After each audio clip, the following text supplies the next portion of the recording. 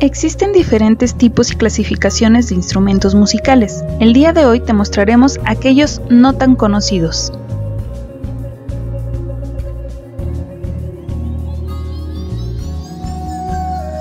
Armónica de cristal.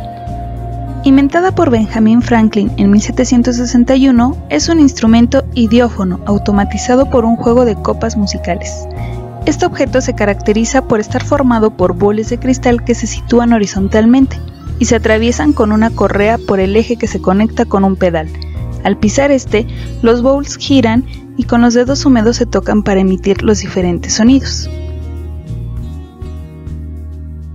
Fue un instrumento muy polémico. En su momento se rumoraba que tocar la armónica de cristal volvía loca a la gente y causaba enfermedades, calambres o colapsos nerviosos, por eso desapareció pero cuando resurgió, la gente amó su sonido y hasta el mismo Mozart escribió piezas para ello, como Adagio para solo de armónica. Años después, atrajo el asombro del arreglista Jack Nietzsche, quien en 1981 decide incluirla en la música de la película Cudder's Way. ¿Puedes creer que un órgano emita melodías a través del empuje de las olas del mar?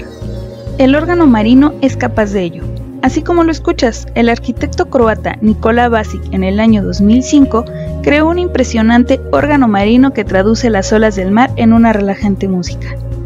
Sus 35 tubos generan de forma precisa una nota distinta provocada con el movimiento de las olas y la energía del viento.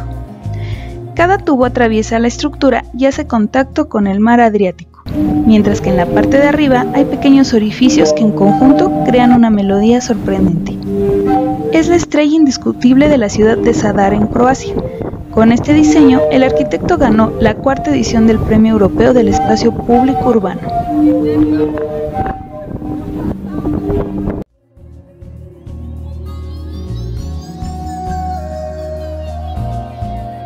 Didgeridoo.